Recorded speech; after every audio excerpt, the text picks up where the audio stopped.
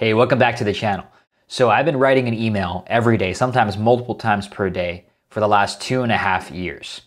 And one of the most common questions I'm asked is how do you come up with so many email ideas where you can write about something every single day? And the answer is I have email topics and formulas that I use that I recycle and reuse over and over again. So I'm not always coming up with a completely original type of email. I'm going through this a list of topics and a list of formulas and frameworks that I have, and I just reuse them over and over.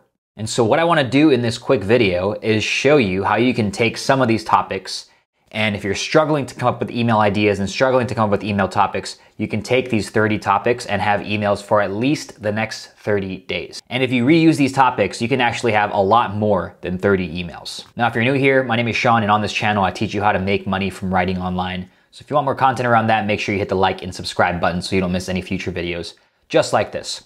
So on my screen here, I'm going to cheat a bit. I'm going to show you a Twitter thread that I wrote today and it's about 30 topics for your next 30 emails. So follow me on Twitter first if you're not already. Go to Sean Anthony Says on Twitter. You will find my profile. And if you hit the follow button, you're going to see daily tweets that give you more content around email marketing, making money online, and one weekly thread where I go deeper into topics like this around email marketing, copywriting, and making money online. So in this thread, what I've done for you is I've outlined topics and hooks that you can write about for your emails for the next 30 days. So you can see here, day one, you would have the hero's journey. I give you a little blurb on what to write about and a framework you can use, some questions that you can use to write your email. Day two, secret sauce. What's your secret sauce? How did you discover it? What makes your sauce different from others? So I'm giving you the prompts of what to write your emails about. And it goes on for 30 days. But what I want you to realize here as you go through this thread, I'm not going to read through the whole thing. I'll link to it below so you can see it. But what I want you to realize is a lot of these emails, you can reuse it over and over again. So for example, this throw rocks at enemies, right? You're, you're not calling people out by name. You're calling out the bad or subpar things you see in your industry. How many bad or subpar things are in your industry? Probably more than one. So you can write a lot more emails throwing rocks at different enemies. Here's another one, bust an assumption. So people have all kinds of assumptions on what they need to do to achieve the result your product promises. For example, I need a ton of upfront capital to start. That's just one assumption. You can have a list of different assumptions. I can think of 50 different assumptions that my market might have around what they need to do to achieve the result that my product promises. So I can write a new email busting more and more assumptions here. Here's another one. Answer a FAQ, a frequently asked question. And this is my one of my personal favorite email types to write because you can do this endlessly, right? How many times can you answer a new frequently asked question? You can just scroll through all the questions that you get from your, your audience and your list and your customers and subscribers, and you can answer those questions one by one. And you can also go to a public forum or a public group like a Facebook group or Quora or Reddit or Amazon reviews and just look at the questions people are asking and answer those questions if it has something to do with your product. So this is another one. I write at least one FAQ email a week, sometimes more, and I love it because it's easy and I can reuse it over and over again. Here is another one, a customer win. If you have customer reviews and case studies and testimonials, every single one of those can be turned into a email. So listen to that again, right? Every single customer win that you have can be an individual email. If you're working, let's say that you have a client and they're an e-commerce store and they have 5,000 plus five-star reviews. You have 5,000 potential emails that you can write. Now, what you want to do with these customer win emails is pick out the best stories or pick out the best transformational stories that you can write about. But there are tons of them that you can use if you're working with a legit business who has reviews and customer results and testimonials and case studies. All you have to do to write these is right here, share the before, share the after, share what they did to go from before to after, and what life will look like for them moving forward. I actually made a separate video on this. I'll link to it below. It's called the easiest email to write. And that's true. This is one of the easiest emails to write because the customer writes the email for you. Here's another one, debunk a myth. How many myths are there in your industry? So one that's common in mine is you need to close high ticket deals on the phone. So what I did was I wrote an, e uh, an email debunking that myth. I said, you can actually close 5K to 30K deals without the phone. That's exactly what we've done. And so I wrote an email about that and how that works. So debunking a myth, how many myths or lies are in your industry? Every single one of those can be an email. Pop culture. What just happened recently? We had the Will Smith slap. You can write an email about that. You can write multiple emails about that. So there's always these types of events happening in pop culture. There's TV shows and movies and things being talked about, right? Gossip, celebrity gossip and drama in the news. And you can tie each of those, each of those pop culture events to an email and to your product. So you'd have, you'd have to get a little creative and find out how to tie it back, but there's always a way where you can build a bridge from something that's in the public eye in pop culture back to your product. Here's another one, inspiring story. This is kind of similar to the customer win, but we're looking deeper for these inspiring stories, experiences that happen when you or your customers were using your product and it's, it inspires someone else to go out and buy it and get that same result. So that's another one. You can use it over and over again. Let's see, story of the week. You can actually use all of these multiple times. I'm just taking a look at the ones that I use most commonly multiple times. Story of the week. So I do this one a lot, personal stories of some, uh, something that happened in your life or business. And so I have an email, a weekly newsletter called Friday Fire.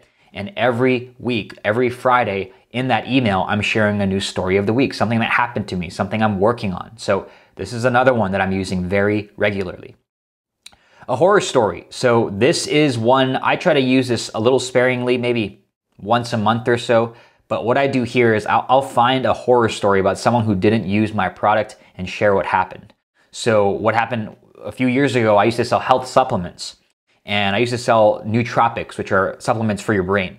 And there was a different, I'm not going to name it, a competitor supplement out there with, with pretty crappy ingredients.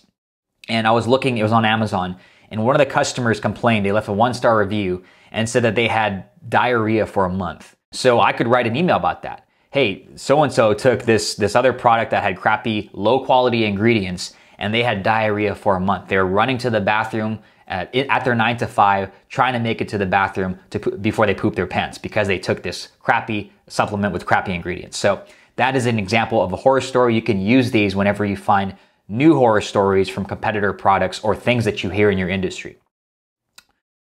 Here is another one. So uh, answer another FAQ. I listed it right here. This is something I use over and over again. Shady practices in your industry how many things are happening in your industry that are shady. So the way, the way your competitors promote products, maybe they use poor quality materials like I just said, or use false claims. What are things that are happening, shady things that are happening in your industry? You can call those things out and write an email about it. Let's see, another one here is current events. There is always something going on in the world that you can tie back to your product. So C19, I don't want to say it in case YouTube starts to flag me, but I wrote a lot of really high selling emails when C19 was going on because I used that as my hook and it was on people's minds, right? It was current events. So more recently, the Ukraine and Russia thing's been happening. The Will Smith thing has been happening. There's all types of things happening in the world at any time. So one thing you can do is I'm on Twitter right now. If I just go to the right here, it says what's happening. I can go to show more and you can see all the things that are being talked about right now in the public eye. So this is a great way to see what's going on that I can write an email about, that I can tie back to my email and my product. And what you're doing with that is you're taking the attention from something like this and you're tying it back to your product. So that's another one that you can use pretty often. I should probably use that one a little more. Let's see, share a useful resource. So this could be your resource, a piece of content from yourself, or something that you found useful from somebody else. I'd recommend that you keep it in-house so you have, if you have a piece of content of your own, share that.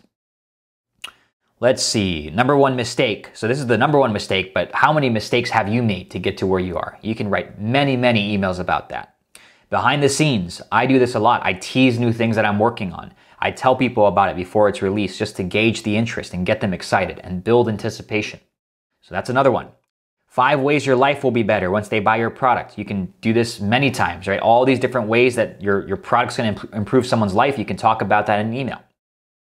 And yet another FAQ. If you can't tell, I love that email. And bust a personal objection. There's so many different objections that people have before buying.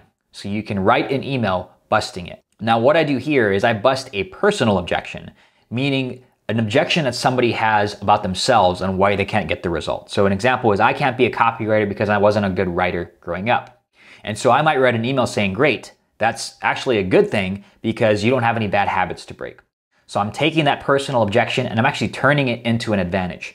And this is an extremely powerful email because a lot of the times they might believe in your claim, they might believe in your product, but they don't believe they can do it because of some kind of limitation in themselves. And this busting a personal objection can get them to push them over the line, actually get them to buy. Share a piece of content. So I do this every Monday and Wednesday when I have a new YouTube video is I write an email sending people the video and linking to it so they can watch it. So YouTube video, thread, blog article, free report, whenever you have a piece of content, you can send it to your email list and link them to that content so that they get to consume it. Let's see, where is another one that we can use? Here's another customer win. And number 30, special offer. So this is giving a discount, special bonus, giving them your best offer, and telling them to buy now. So it's more like a straight pitch email. So here's what I'm gonna do now. I'm gonna link to this thread below this video. I want you to read this and at least write down all these different 30 topics. What I also want you to do is go through this with the mindset of, I can reuse these email types more than once, more than twice. I've used some of these, like the share a piece of content email, more than 100 times. The FAQ email, more than 100 times the customer win email. I've used this 50 plus times at least. And so each of these emails you can use over and over again. Okay, so I'm gonna link to it below. Bookmark this, go through it, use it to come up with your next at least 30 topics for your next 30 emails. And also, if you wanna see my emails live in action and see how I take each of these topics and use them, go to seananthony.co. You can opt in there for my free 1K a day offer buffet course. And you're also gonna see each of my daily emails and you can learn and study from them. So I hope this was helpful. This is for you if you're struggling to come up with email ideas. This is 30 topics for your next 30 emails and many, many more than that if you actually use it and recycle it like I just said. So hopefully this was helpful. Give it a like and let me know in the comments if it was, and I'll see you in the next video.